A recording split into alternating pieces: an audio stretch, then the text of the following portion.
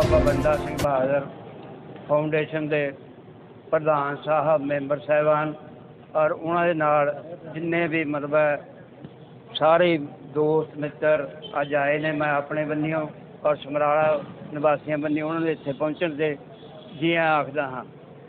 ਜਿਸ ਤਰ੍ਹਾਂ ਬਾਬਾ ਜੀ ਨੇ ਦੱਸਿਆ ਕਿ ਆਪਣਾ ਬਹੁਤ ਵੱਡੀ ਇਹ ਮਤਲਬ ਯਾਤਰਾ ਕਰਕੇ ਸਿੰਘੂ ਬਾਰਡਰ ਤੇ ਜਾ ਕੇ ਜੋ ਸ੍ਰੀ ਗੁਰੂ ਤੇਗ ਬਹਾਦਰ ਦਾ 400 ਸਾਲਾ ਜਿਹੜਾ ਹੈਗਾ ਆਪਣਾ ਉੱਥੇ ਜਾ ਕੇ ਉਹਦੀ ਸਮਾਪਤੀ ਕਰ ਰਹੇ ਨੇ ਇਹਨਾਂ ਨੇ ਹਮੇਸ਼ਾ ਹੀ ਬਾਬਾ ਬੰਦਾ ਸਿੰਘ ਬਹਾਦਰ ਫਾਊਂਡੇਸ਼ਨ ਹਰ ਸਾਲ ਹੀ ਉਹਨਾਂ ਦਾ ਹੈ ਜੋ ਜਨਮ ਦਿਨ ਆ ਉਹਨੂੰ ਮਨਾਉਂਦੇ ਨੇ। ਮੈਂ ਇਹਨਾਂ ਨੂੰ ਇੱਥੇ ਆਉਣ ਦੇ ਆਪਣੇ ਬੰਨਿਓ ਔਰ ਸਾਰੇ ਇਲਾਕੇ ਬੰਨਿਓ ਲੱਖ ਲੱਖ ਮੁਬਾਰਕਬਾਦ ਦਿੰਦਾ ਤੇ ਪਰਮਾਤਮਾ ਨੂੰ ਅਰਦਾਸ ਕਰਦਾ ਕਿ ਆਪਣੀ ਜਿਹੜੀ ਯਾਤਰਾ ਹੈ, ਉਹ ਸਫਲ ਤੋਂ ਜੋ ਯਾਤਰਾ 16 ਤਾਰੀਖ ਨੂੰ ਸਵੇਰੇ 10 ਵਜੇ ਚੱਲੀ।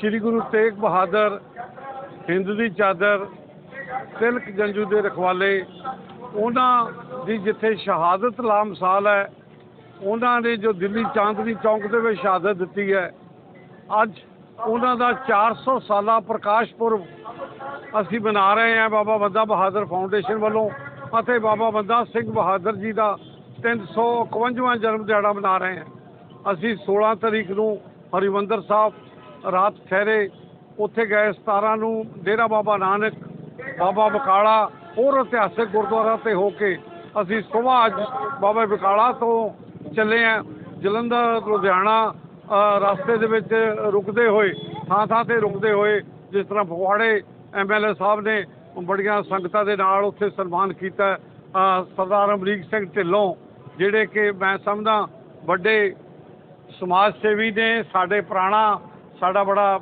ਨਜ਼ਦੀਕੀ ਪਿਆਰ ਹੈ ਸਤਿਕਾਰ ਹੈ ਤੇ ਅੱਜ ਉਹਨਾਂ ਨੇ ਇੱਥੇ ਵਰਕਰ ਸਾਥੀਆਂ ਦੇ ਨਾਲ, ਸਮਰਾਲਾ ਨਿਵਾਸੀਆਂ ਦੇ ਨਾਲ ਮਿਲ ਕੇ ਸਵਾਗਤ ਕੀਤਾ ਜਥੇ ਦਾ ਯਾਤਰਾ ਦਾ ਅਸੀਂ ਬਹੁਤ ਬਹੁਤ ਧੰਨਵਾਦ ਕਰਦੇ ਹਾਂ। ਸ੍ਰੀ ਗੁਰੂ ਤੇਗ ਬਹਾਦਰ ਜੀ ਦੀ ਕੁਰਬਾਨੀ ਲਾਮਸਾਲ ਹੈ। ਉਹਨਾਂ ਨੇ ਆਮ ਸ਼ਹਾਦਤਾਂ ਹੁੰਦੀਆਂ ਨੇ ਜੰਗ ਦੇ ਵਿੱਚ, ਪਰ ਸ੍ਰੀ ਗੁਰੂ ਤੇਗ ਬਹਾਦਰ ਜੀ ਨੇ ਜਾ ਕੇ ਸ਼ਹਾਦਤ ਦਿੱਤੀ ਹੈ ਚੌਕ ਦੇ ਵਿੱਚ। ਅੱਜ ਮੈਂ ਸਮਝਦਾ ਉਹਨਾਂ ਦਾ ਜਨਮ ਦਿਹਾੜਾ, ਉਹਨਾਂ ਨੂੰ ਯਾਦ ਕਰਨਾ ਸਾਡਾ ਸਭ ਦਾ ਫਰਜ਼ ਹੈ। ਇਹ ਅਸੀਂ ਛੋਟਾ ਜਿਹਾ ਉਪਰਾਲਾ ਬਾਬਾ ਬੰਦਾ ਸਿੰਘ ਬਹਾਦਰ ਅੰਤਰਰਾਸ਼ਟਰੀ ਫਾਊਂਡੇਸ਼ਨ ਵੱਲੋਂ ਕਰ ਰਹੇ ਹਾਂ। ਕੱਲ ਅਸੀਂ ਦਿੱਲੀ ਜਾ ਰਹੇ ਹਾਂ। ਸਿੰਘੂ ਬਾਰਡਰ ਤੇ ਜਾਵਾਂਗੇ। ਦੋਨਾਂ ਬਾਰਡਰਾਂ ਤੇ ਵੀ ਜਾਵਾਂਗੇ, ਜਿੱਥੇ ਕਿਸਾਨ, ਉਹ ਅੰਦੋਲਨਕਾਰੀ ਕਿਸਾਨ ਬੈਠੇ ਨੇ। ਉਹਨਾਂ ਦਾ ਸਨਮਾਨ ਬਾਬਾ ਜੀ ਕਰਨਗੇ। ਉਹਨਾਂ ਦੇ ਸਰਪ੍ਰਸਤ ਨੇ ਸਾਰੀਆਂ ਜਥੇਬੰਦੀਆਂ ਦੇ। ਅਤੇ ਉਸ ਤੋਂ ਬਾਅਦ ਸੀਸਗੰਜ ਗੁਰਦੁਆਰਾ ਸਾਹਿਬ ਵਿਖੇ 20 ਤਰੀਕ ਨੂੰ ਸਵੇਰੇ ਦੀਵਾਨ ਸਜਣਗੇ।